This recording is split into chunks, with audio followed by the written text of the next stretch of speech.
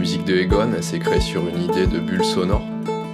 Et Sonar, c'est une installation où le public est tout autour de nous. L'idée, c'est de se rapprocher du public et de le faire entrer dans cette bulle.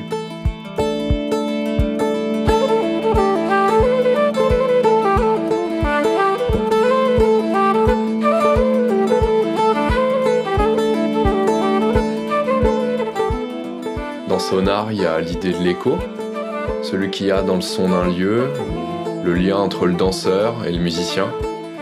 Et on met en musique cette idée en utilisant de la polyrythmie, c'est-à-dire que chacun va jouer une mélodie qui par rapport aux autres va s'éloigner et se rejoindre, et ainsi de suite.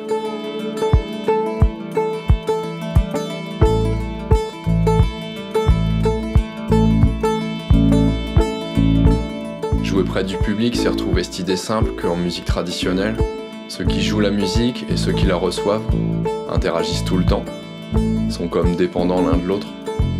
Du coup, la notion de concert, change de nature. Et ce lien très fort, c'est peut-être ce qui définirait le plus simplement cette musique.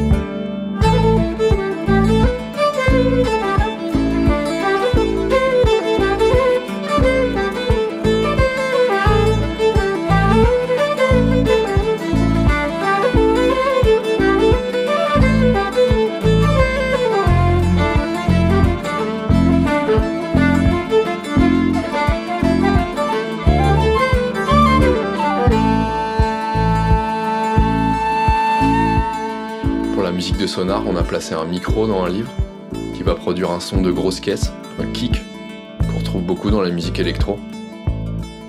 Ça rejoint un peu l'idée de base de ce groupe, qui est de prendre des éléments anciens, comme une instrumentation, des mélodies, et d'en jouer différemment, pour les amener vers des mondes plus oniriques.